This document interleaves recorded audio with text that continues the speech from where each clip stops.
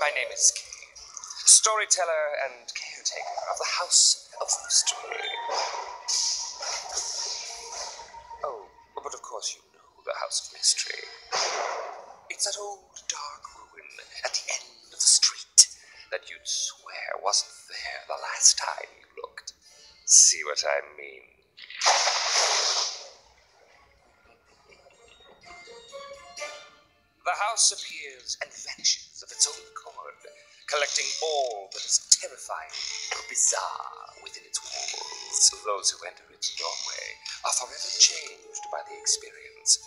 As those tykes over yonder will soon learn. Is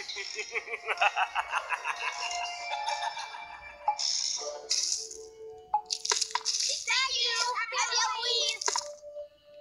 I got a chocolate bar. I got a bag of taffy. I got a popcorn ball. I got a rock. Candy stick. Mm, but if alright, actually, that's the best house so far. There's never a key around when you want to get into a spooky old house.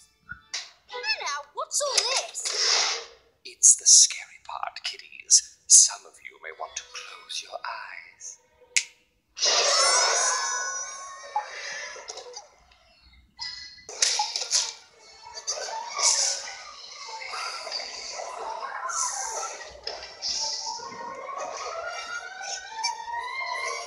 Confidentially, I can't stand to look either.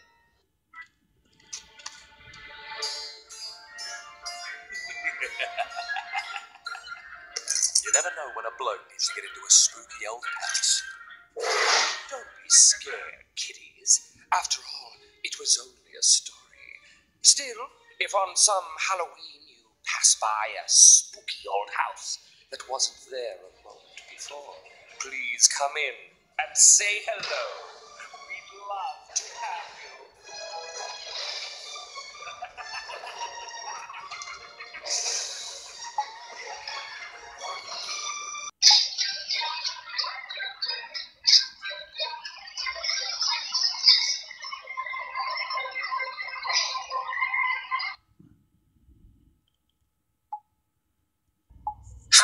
Mystery began in 1951 as a horror anthology series similar to Tales from the Crypt or The Vault of Horror. Much like its contemporaries, however, it had increasing scrutiny from the growing Comics Code Authority, which censored or refused to let comics be published with certain content, including elements of the supernatural. Unlike the EC Comics titles, however, House of Mystery endured, shifting its focus to science fiction and even superheroes. In the late 1960s, the book returned to horror with its host, Cain. Welcome, welcome to the Fivefold Understanding YouTube channel where censorship knows no bounds. Stay tuned in the next video, I'll provide more proof of that. Cain the Able Caretaker will not be with us for the foreseeable future. It is Halloween, so I'll take over in hosting narration responsibilities. He first appeared in House of Mystery 174 when the mystery, the House of Mystery horror format, really began in 1968. And Cain would get really mad if I didn't mention his overweight brother Abel, who holds down the abode just across the way over there. You might have heard of it, the House of Secrets. The House of Secrets, I should say. Um, and what's more enduring than classic American horror and the host? They go hand in hand like M. Night Shyamalan and bad horror movies. One of the first, and according to many, arguably the best television horror hosts was this guy over here in the left corner, John Zacherley, who in 1957 took a stint with Philadelphia Television Shock Theater as they rolled out a collection of then horror films being re- released from Universal. Dressed in an Undertaker's coat and sporting a ghoulish makeup with his hair parted down the middle, he portrayed Roland, the Cool Ghoul, who was the host of the show, and he lived in a crypt. You can see him over here uh, from Star A Shock Theater, famous monsters of Filmland, 1962. Um, other famous hosts include good old Uncle Creepy up here in your right corner. And yep, those are some Jack Davis drawings. He held down Creepy from Warren Publishing, comic book, magazine, uh, very mad esque, you could say, with a horror twist to it. And I don't know if I mentioned it or not, but good old Abel here first appeared not in House of Secrets nor in House of Mystery, but in DC Special number four. And if you don't know any of them, you sure know her, Vampirella, probably the queen of horror and the hosting responsibility, created by F.J. Ackerman and Trina Robbins. She was also the host of a uh, sister Warren publishing publication, Vampirella, a black and white horror magazine. She first appeared just as winter dawned in 1969. And you gotta love that Vampirella outfit, right? Is there a better garb anywhere in fiction? Looking great, Vampirella. And I'd be remiss if I didn't mention, perhaps even my favorite host, Madame Xanadu, who first showed up in the Doorway to Nightmare. Uh, Mike Kaluta, Mike Kalata. Uh, how am I saying his name right? He created this lovely, lovely character here, who you might even be familiar with from the Days of Vengeance Infinite Crisis prologue miniseries. And before we get back to the House of Mystery and the rest of this DC Comics horror history micro doc documentary special, whatever you want to call this thing I'm putting together here, there's a couple other hosts I really need to mention before we move on because it just wouldn't be right. Not to mention them, that is.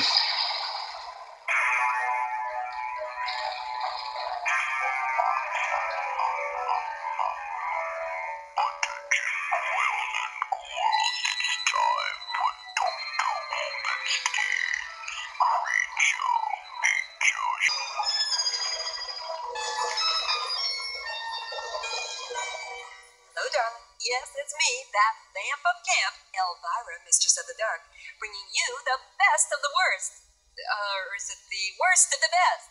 Yours truly, Elvira. A gal with the enormous, uh, ratings. Well, that's our show.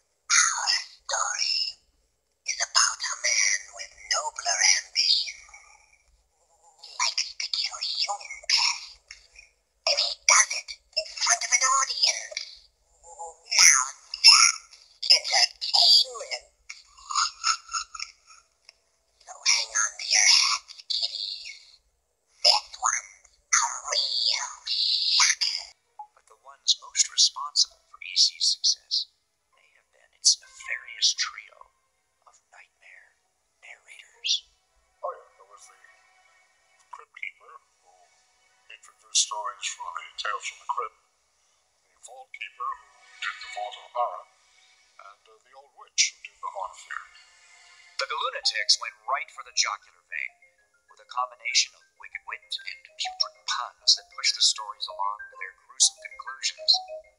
One of them even deserves credit for naming EC's most popular publication.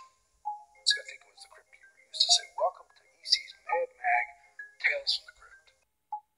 See what I mean? The GhouLunatics. God forbid you don't mention them, right? Not to mention Elvira, who a lot of people think predated Vampirella. Not the case. And our host, Cain the Able Caretaker. And like you heard, in the 50s, some professor got up on a soapbox, had Senate uh, hearings commenced, and before you know it, there was a comic book code. Which put the EC boys out of business. Believe it or not, EC originally stood for Educational Comics. Now, isn't that irony? Allegorical irony at its finest. The same one could argue about the very first comic books, or more or less storybooks, were Victorian sensationalism called Penny Dreadfuls that featured vampires and characters like Spring Heeled Jack, who was sometimes a good guy and sometimes the absolute worst of the worst. Believe it or not, the legend goes he actually did exist. But I should mention that the first actual horror comic was Eerie Comics.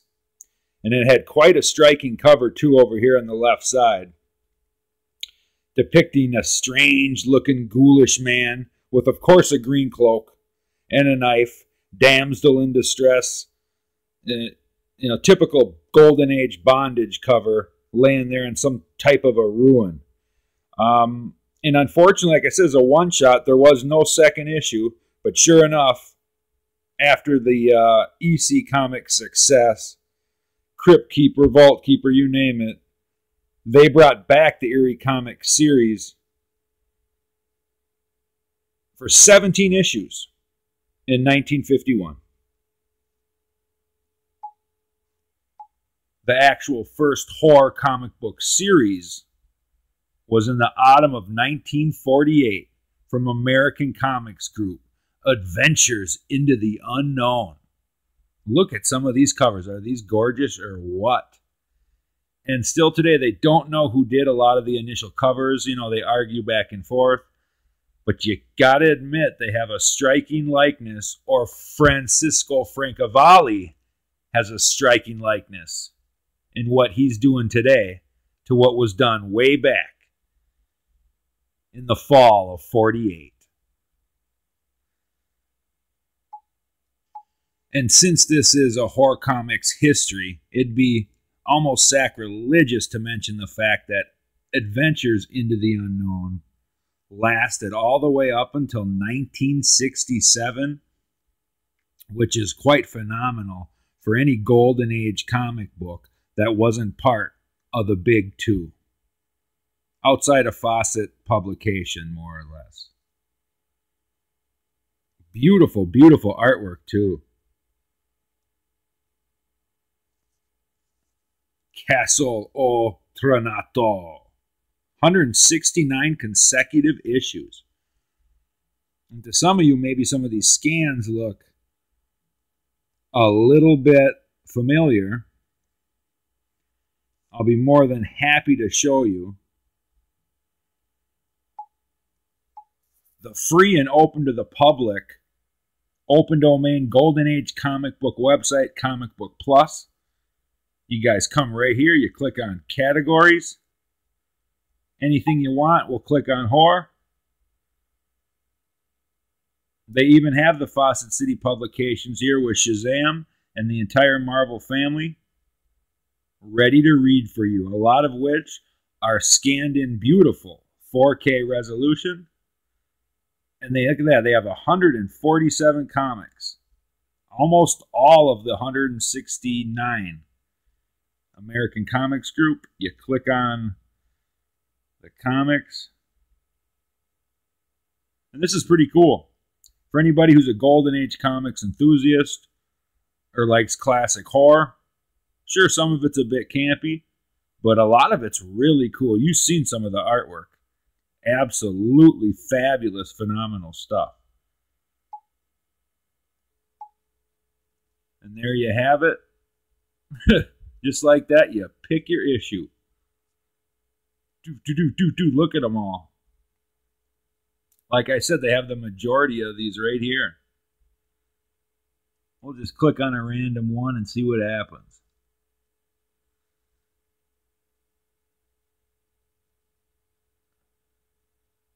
Yeah, and don't think you're pirating or whatnot coming here, because that is not the case. The whole setup here is just phenomenal. What do they call it? The, the UI, the user interface, is done really, really well here. Because I think if you just tap the middle, see if it works. Yep, look at that. You tap the middle, and it goes page by page for you.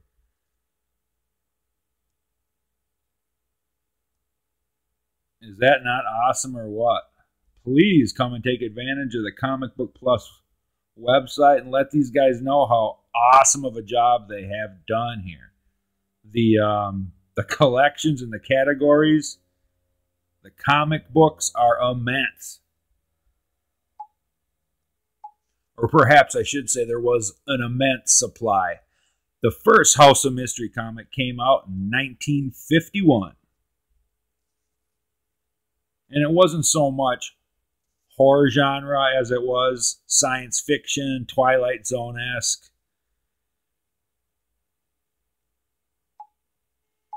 Because back then, nobody knew what magic was soon to be unleashed on the comic book world.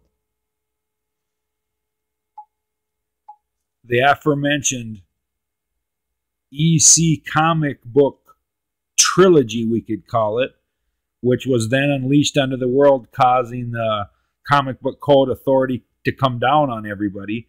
DC Comics had one response, and that was to bring the superheroes back one more time. This time with a more scientific based edge to them and along with it came a whole new slew of artists, including a man by the name of Carmine Infantino.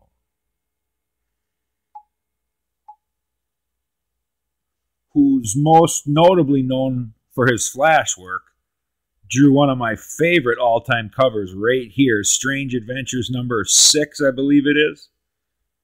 First appearance and origin of Captain Comet. Is that a cover or is that a cover? Wow.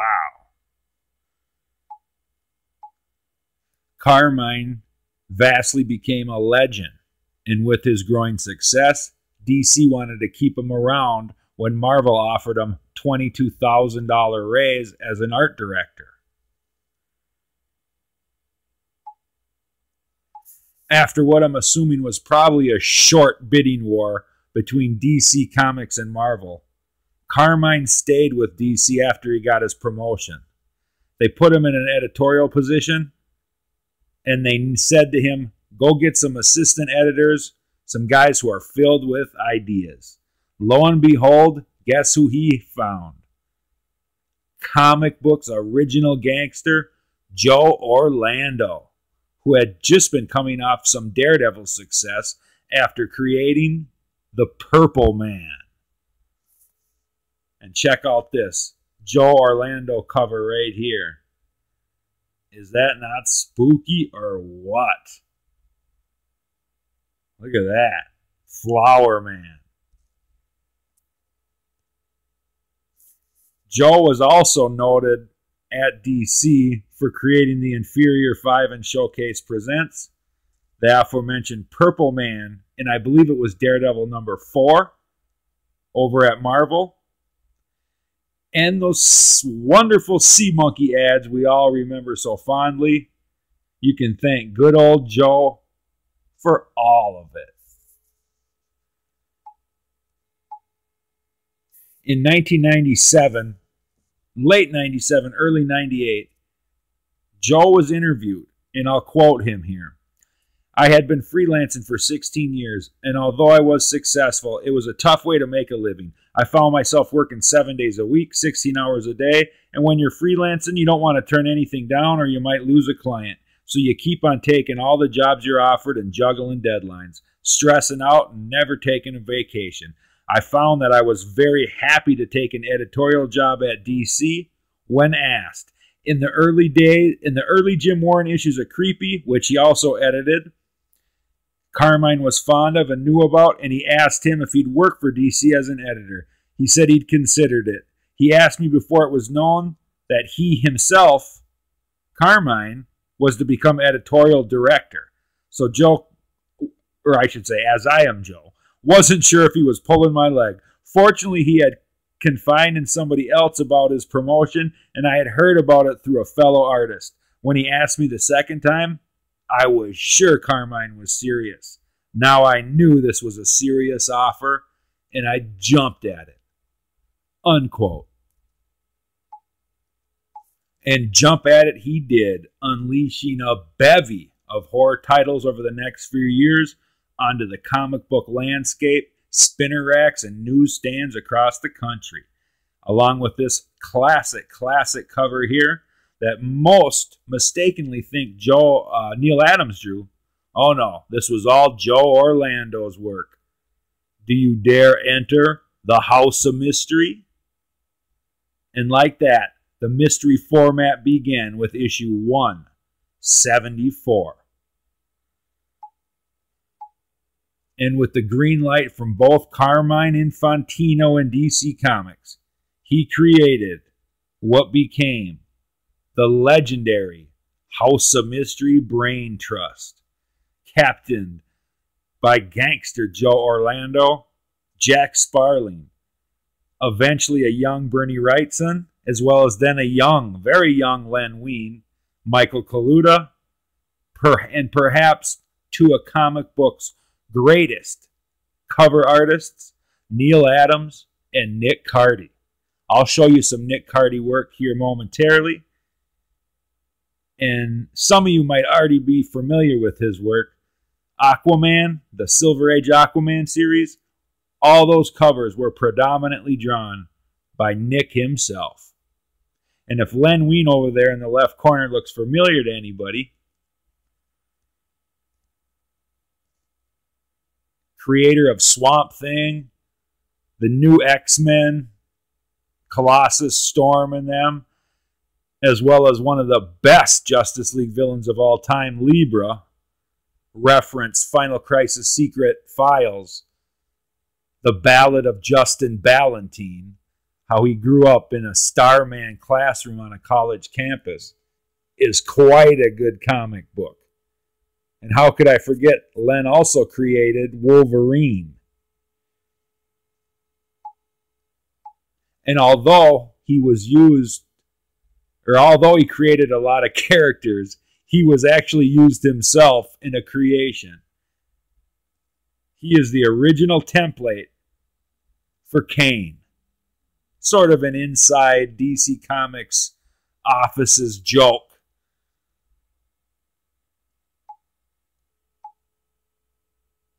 Another Hall of Fame House of Mystery mystery man Sergio Aragones penciled more than a few comic books in his time. The reason I bring this up is if you read a Wikipedia, and maybe even if you read, uh, or if you read an Overstreet, you take a look at the Wikipedia, it's going to tell you, you know, Cain was created by uh, Joe Orlando. And, you know, it goes on and on. Well, the actual truth of the matter is it was Steve Skeates up here who first brought the idea, was shopping around the ideas of the poster plague when Joe Orlando had been uh, figuring out a way to switch House of Mystery and fight back against the comic book code authority. And when he's seen the ideas for the poster plague characters that later Sergio Aragones put in the pages of Plop, That was the real origin of both Cain and Abel.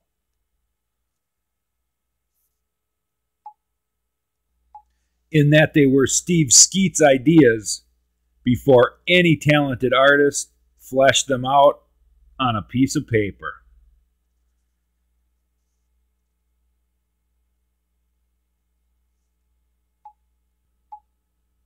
And as the new House of Mystery format dawned, the world was never the same. And although 174 is considered where the mystery monster horror format begins, it was right here in issue 175 that was actually the original horror comic book in its entirety. Because I believe issue 174 only featured one last story that had the horror framework. Check out some of these Neal Adams covers. They're absolutely mouth-wateringly awesome. I mean, you just can't say enough about this guy and these covers. Look at these. And this right here is a very noteworthy uh, issue, and that because it's master, master illustrator Bernie Wrightson's first comic book artwork, who, in my opinion, is probably the best single pencil pencil artist I ever seen.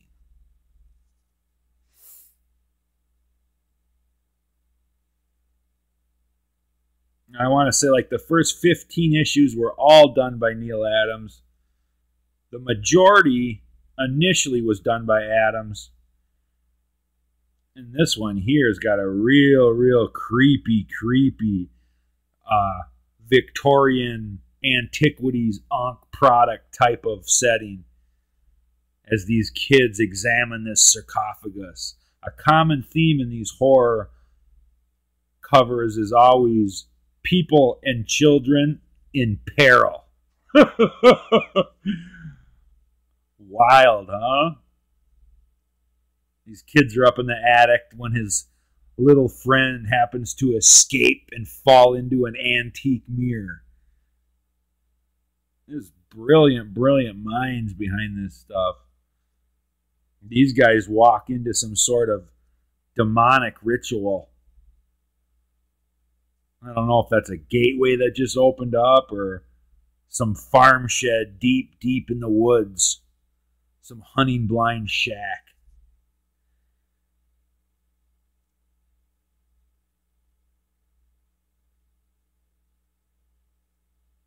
Really special stuff.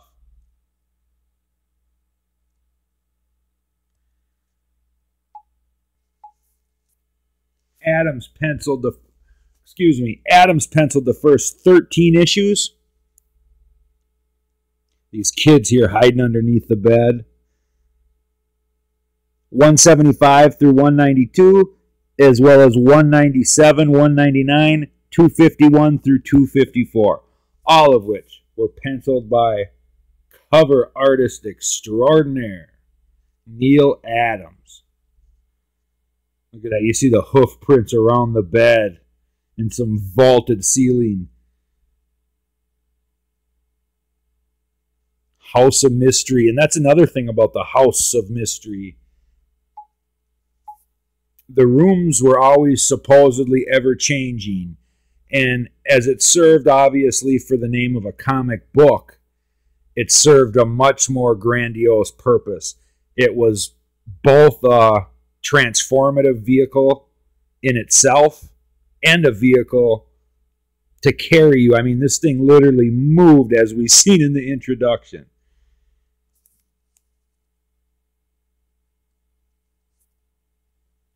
And you got Pan the goat god here. The physical origin of of Satan, anyhow. And the pitchfork staff usually comes from the uh, Greek gods, Hades and Poseidon where the trident comes from. And now this here is a House of Secrets cover. You really got to appreciate the uh, gothic romance here. I mean, if I could get this in a three-inch thick frame, I mean, I'd hang it right in the living room. And I want to say this is by Nick Cardy. He did some really, really phenomenal work. I'll have to show you some of that stuff.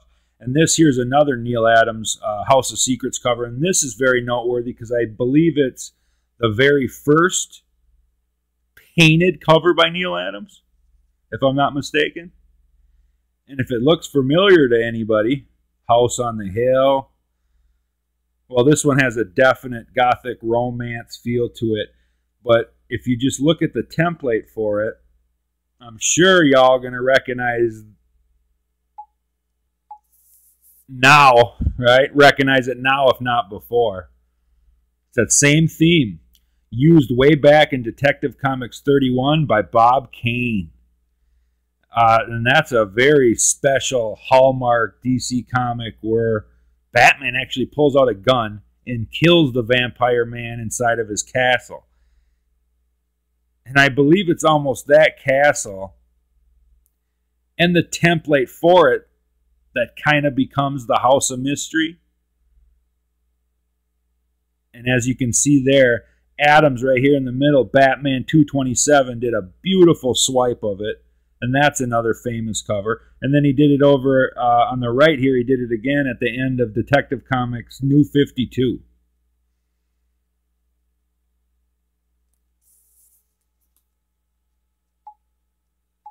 And we had spoke earlier about Nick Cardy. And since we're doing horror comic books, these are some of the best in my opinion.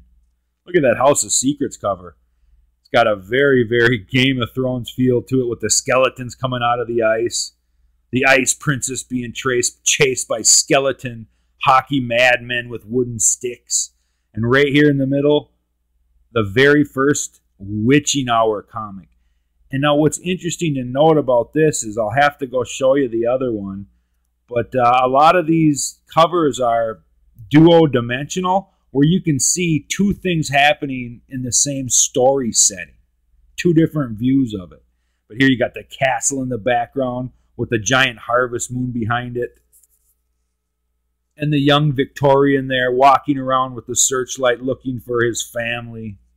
And the witch posted high up on the chimney knows exactly what happened to his family. I'm going to have to show you the other view of this and then over here on the right, one of my favorite, favorite Secrets of Sinister House covers. Another Gothic romance cover by uh, Nick Cardy.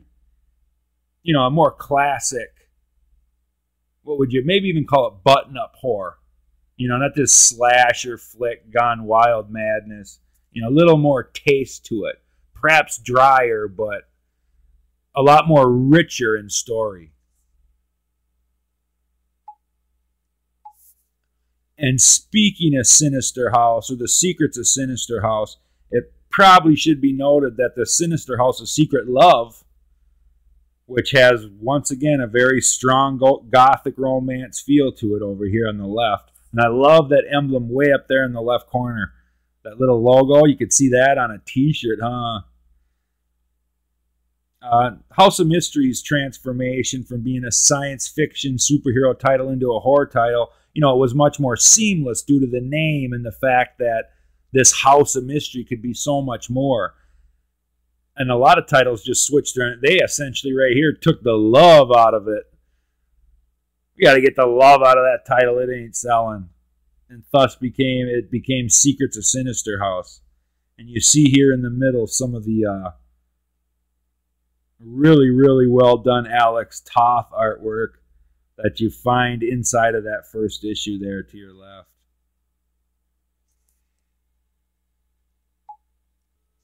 And like the secret sinis- and like the secret house of sinister love, there also was the dark mansion of forbidden love. So there was two similar titles. Both of them had uh, name changes. And and once again here you see uh, uh, uh un just I can't you know it's ineffable. I can't even think of a word for it. How just l- lovely. It, it's just spooky and lovely at the same time. Another Nick Cardy. All three of these are Nick uh, Nick Cardy, and sometimes it's pronounced Nick Cardy with an I too. Um, I don't. I didn't actually do research on that, but This witching hour cover here in the middle is that something or what? That's more classic horror with the witch just waiting in the darkness to snatch up this victim. Uh, and framework here by once again two really exceptional Nick Cardy gothic romance covers. You gotta love these. They're just so it's got so much class to them. They really do. And since we're on the subject of Nick Cardy, I'm going to show you how uh, it's a duo-dimensional cover that takes place in the same uh, story setting here with the witch watching the young Victorian down there. She's posted high up on the chimney. This is another Witching Hour cover. That was number one. This is number five. And you can see this is just the other perspective, perhaps of that young Victorian, you know, looking up or not looking up. And this old man is, you know, his shutters are are are banking off the wood paneling in the wind. And he opens the window to say, Young man, You'll find your family tomorrow. It's 12 o'clock. Go home. It's the witching hour. I just thought that was brilliant how these covers definitely connect. You see that? I mean, that's really special. And something else I should notice how hard it is to find a lot of these witching hour covers, especially, even House of Mystery as well, in good condition. They're very, very hard to find. Uh, nice. It's hard to find nice copies of these.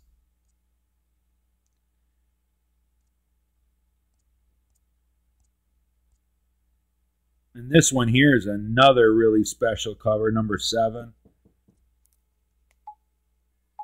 Just constantly being erupted here. But yeah, it was a very, very special time. You know, whether it's the House of Mystery or this dark foreboding castle. It's always right there in the background. And here's your smoke monster decades before Lost, huh? Pretty special Neal Adams cover right here. And before we get a little too sidetracked, this one, House of Mystery, or uh, yeah, House of Mystery 199, huge, huge Game of Thrones vibes here, huh?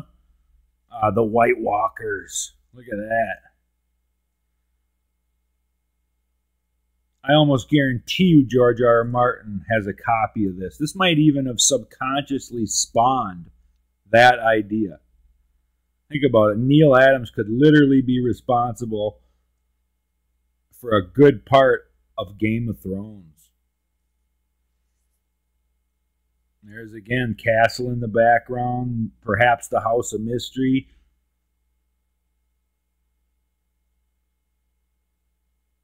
Just a very special time.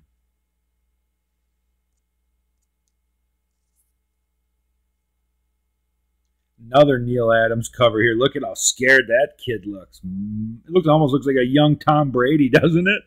Look at that. That's funny, huh? He caught the doll beating up his best friend. Look at this. What are they doing to this guy? look at his face. My God. And whatever this doll's doing is like he's unzipping his pants or something. This guy's about to hit it. Spooky, spooky cover. I never looked at this one in that much detail till now. Wow, huh? Now, Michael Kaluta is another one I need to mention before I uh, wrap this up. Although this wasn't such a great scan, this cover here is just really special. It's got the whole people underneath the stairs vibe to it. Such a beautiful coloring job, too, huh?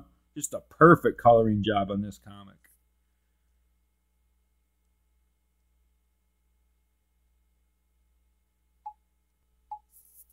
It really, really is the best era for comic book covers, to say the very least. You know, bar none, nothing compares to this the uh, the consistency of it is just really, really mind blowing.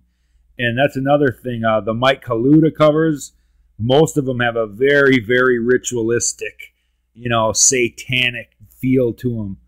I mean, look at these ones all pretty much right in that same file, you know?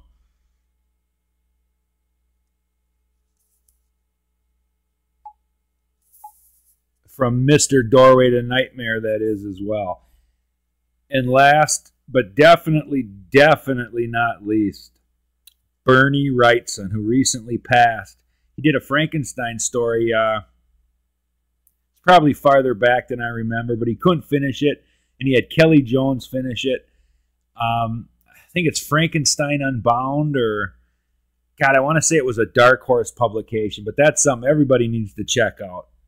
Definitely check out the Kelly Jones, Bernie Wrightson Frankenstein miniseries.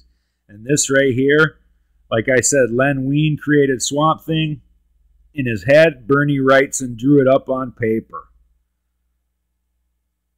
You know, you could argue Nick Cardy, Neal Adams, they're better cover artists, but are they better all around artists?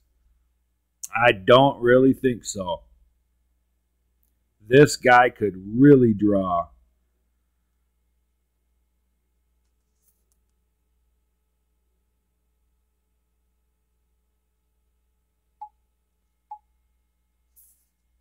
And here's a few more from Wrightson. These are all the more noteworthy ones, perhaps.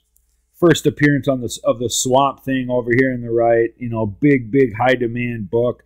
So to a degree is the weird because it's got the black cover, the demon showing up on top of the pentagram, squashing the people during the seance or whatever they were doing. Uh, that there is hard to find in good condition. You know, it's a fat, fat comic with the black cover. Fingerprints mark it up very, very easily. And I'm happy I own two out of the three. And over there, bat out of hell. I used to think that was like a Batman, and actually it's a giant bat attacking a man. Nevertheless, all very, very special stuff right here. Just really fun to look at, especially right now. You know, it's Halloween. Perfect time to look at this era of comics.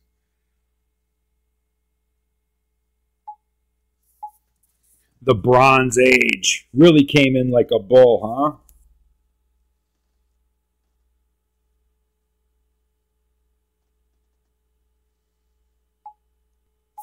And thank God Joe Orlando and those boys all showed up. Otherwise, we would have got stuck with more of this right here, and the title probably would have been canceled. This Dial H for Hero, this happens just prior to all that unbelievably awesome stuff we were just looking at. Um, and the interesting thing here to note is that little dial that Robbie Reed has is used to conjure up new superheroes. And this goes back to House of Mystery 156, where Dial H makes its first appearance. It ran all the way up until Joe Orlando's takeover. We pretty much went over all that.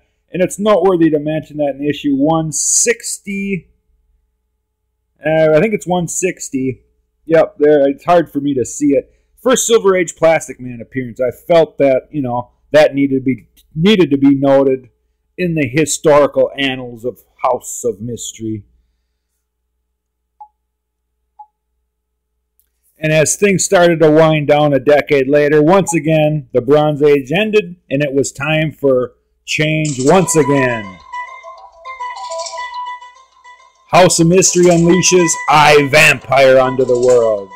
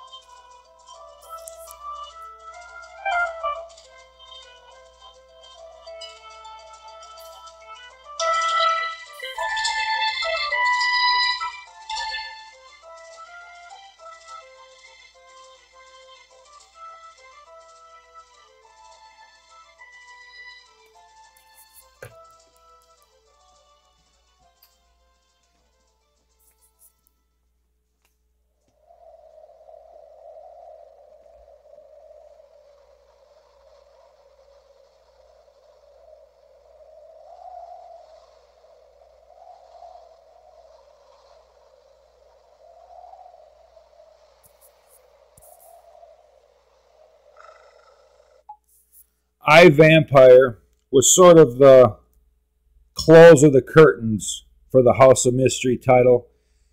First appeared in 290, and in 318, I believe, was the last I Vampire story in general. almost 40 issues, or excuse me, 29 issues of I Vampire, I believe, virtually concludes the tour of the House of Mystery. Not prior to a couple other things that happened. Uh, this Jaja Binks 35 channel does a really nice job of presenting comic books, especially when he does House of Mystery ones. Go over there and maybe show him some love. You can read the entire thing there. In conclusion, the Magical House of Mystery, Volume 1, anyhow, went 321 monthly comics over the better part of 32 glorious years. The house, although did find itself featured elsewhere during the time period we visually took a tour of, as a featuring act in the pages of DC Comics Presents number 53, a 1983 issue, as well as a limited collector's edition comic, C23, on the left side of your screen over there from 1973, as well as a DC Special Series 21, Festive Holiday Spring Special. Those last two being reprints, and that one's not featured here. And who could ever forget on the far right of your screen the Red Water and Crimson Death story? From 1970 issue of Brave and the Bold, number 93, written by Batman, long tenured custodial engineer Denny O'Neil. And as you can see, it featured the trademark Neal Adams swipe cover from Joe Orlando's original House of Mystery 174, being homage there one last time. This here being the final issue of the House of Mystery itself from the original volume. There's Cain with the for sale sign up. He's got his bags packed, and we're uh, framework there on the borders by uh, more unforgettable Bernie Wrightson pencils. Just could stare at this stuff all day long. And then it was a few years later, House of Mystery reached an all new depth, you could say. I didn't read it, that's how I understand it. Some people like it, from what I hear. They didn't like it too much. Was Elvira took over for 10 issues, 10 issue House of Mystery uh, miniseries, where Elvira, I don't know if she took over the role of Cain or what, actually, but these are probably more readily available. 1986 through 87. And even when you can't find good House of Mystery comics, DC usually puts out, I'd say, one every other year or something. This year we got a couple of good ones. I got them over here in the corner. Or actually, I didn't pick up the Curse Comics Cavalcade, but I didn't read my Young Monsters in Love yet or my DC House of Horror from last year. I was out of town. And then the Walmart special recently came out uh, it's all reprints. Everybody hates it. Like, it's all reprints. So what? You get 100 pages for five bucks, and who reads everything anyway? And plus, it's got a feature cover story of, uh, you know, Batman New 52 Alls artist Greg Capullo doing Swamp Thing. And I cannot say enough about the comic in the upper right corner of your screen, the Infinite Halloween special. If anybody can find that, and I'd say it's under 15 bucks, got to be in good condition. Buy it because in that book is an unforgettable Aquaman story. One of the best single horror stories I ever read. Uh, short one with Aquaman. Definitely, definitely mentionable. Outside of that, I hope everybody has a happy Halloween. I hope y'all enjoyed the show. A tour of the House of Mystery DC Comics horror history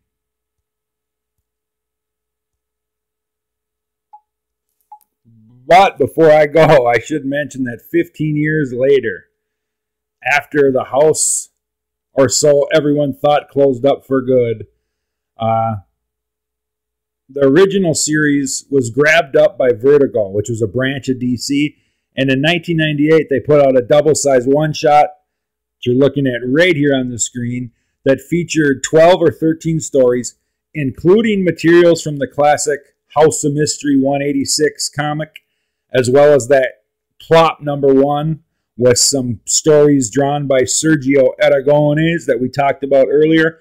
Plus, it had a new framing story featuring Cain himself, written by Neil Gaiman. I've never came across this comic anywhere, but if I ever do, I'm going to buy it and I'll let y'all know what I think about it. Outside of that, and then 2009, um, Vertigo starts an actual House of Mystery series. Bedrooms and Boredom. And I know you can get the first trade of this for $9.99, like Vertigo usually does with all their uh, volume ones. You know, how can you beat that? If you're in a comic book shop and they ain't got none of that other stuff we just got done looking at, definitely pick up the first volume of this for 10 bucks. You won't be disappointed. It's uh, written by Bill Willingham and Matthew Sturges. I think Willingham did the scripts. Matthew Sturges does most of the writing, and a lot of the pencils. The main part of the pencils are done by Luca Rossi, the Italian artist, not the novelist, who shares the same name. And with that being said, subscribe to the Fivefold Understanding YouTube channel. I want everybody to have a happy, happy Halloween. And I'm going to uh, let uh, Link Akara here atop the fourth wall or is it the the evil long box or something? I'll let this guy here take us out. The links will be in the description eventually. So anybody mentioned in this video will be down there if you guys want to look at it in further detail. And with all that being said, I'll let this crazy madman take us out of here. The saga continues. on the House of Mystery series that began in 2008. To talk over the whole thing would take too long, so we shall focus on its first storyline Room and Boredom. Cain's House of Mystery has vanished, but seven years later it is occupied by a bar and anyone who happens to enter it. The staff, however, are trapped inside its walls, unable to escape. Instead, all they do is tend bar. The currency for drinks, however, is stories. First story is probably not for the weak stomached, as it tells the story of Sally, the Hollow Girl. Why is she hollow? Well, let's just say she married a fly. Literally. it makes my tired old bones shiver every time I read it.